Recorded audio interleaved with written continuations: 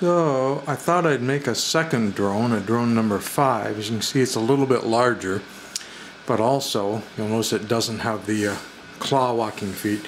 It's got regular feet, and its uh, main difference is it's going to have uh, it has a tipping body action as it walks. So let's.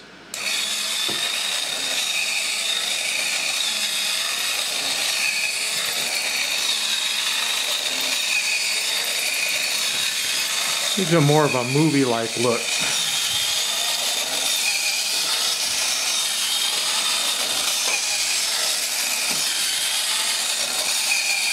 Let's get number four going here.